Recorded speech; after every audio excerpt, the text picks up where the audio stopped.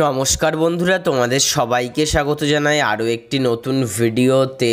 আজকের এই ভিডিওতে মোহনবাগান দলের বেশ কয়েকটা বড় সড়ো আপডেট নিয়ে আলোচনা করব। তাই ভিডিওটি শেষ পর্যন্ত দেখো এবং মোহনবাগান দলের একজন ডাইহার্ট ফ্যান হলে অবশ্যই কমেন্টে জয় মোহনবাগান এবং ভিডিওটিকে একটি লাইক করে দিও।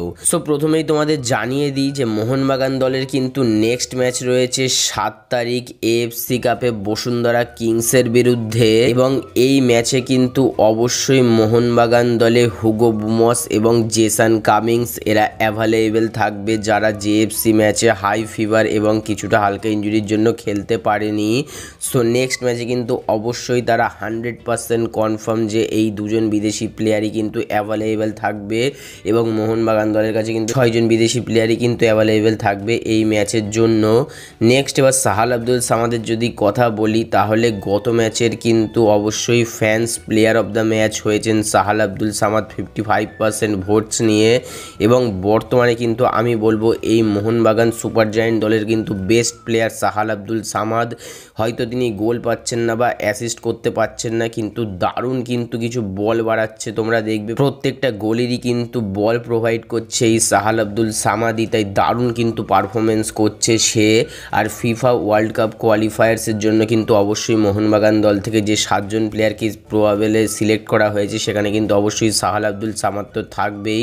তার মধ্যে কিন্তু রিপোর্ট আসছে যা গ্লেন মার্টিন্সকেও নাকি রাখা হয়েছে এবং তাকেও নাকি ফিফা ওয়ার্ল্ড কাপের কোয়ালিফায়ার্সে আমরা দেখতে পারি।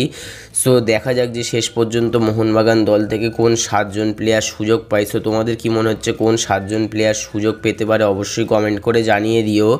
নেক্সট এবার আমরা আলোচনা করব মোহনবাগান দলের একটা বড় পদক্ষেপ নিয়ে। সো মোহনবাগান দল কিন্তু নেক্সট ম্যাচে সুহেল আহমেদ ভাটকে নামিয়েছিল এবং আইএসএলে কিন্তু তার ডেবিউ ম্যাচ ছিল। এছাড়া কিয়ার নাসিরিকেও কিন্তু সুযোগ দিয়েছিল গত ম্যাচ এবং তিনি কিন্তু গোলও করেছিলেন। সো এইগুলো কিন্তু অবশ্যই মোহনবাগান দল ভালো করছে ইয়াং প্লেয়ার্সদের নিয়ে, কারণ তাদেরও কিন্তু গেম টাইম দরকার এবং এই প্লেয়াররাই কিন্তু পরবর্তীতে মোহনবাগান দলের হয়ে দারুণ পারফরমেন্স করতে চলেছে। সো দারুণ পদক্ষেপ কিন্তু মোহনবাগান ম্যানেজমেন্টের তরফ থেকে। সো এই বিষয়ে তোমাদের কি মতামত রয়েছে যে মোহনবাগান দল কতটা বড় সিদ্ধান্ত নিয়েছে কমেন্ট করে জানিয়ে দিও। আর আজকের ভিডিও ব্যাস এই পর্যন্তই ছিল। যদি এই ভিডিওটি ভালো লাগে, তাহলে অবশ্যই ভিডিওটিকে একটি লাইক করে দিও। আমাদের এই চ্যানেলটিকেও সাবস্ক্রাইব করে নিও। মোহনবাগান সহ ভারতীয় ফুটবলের সমস্ত আপডেট সবার আগে পাওয়ার জন্য। সো আজকের এই ভিডিওটি দেখবার জন্য তোমাদের সবাইকে অসংখ্য ধন্যবাদ। Thanks for watching bye bye guys bye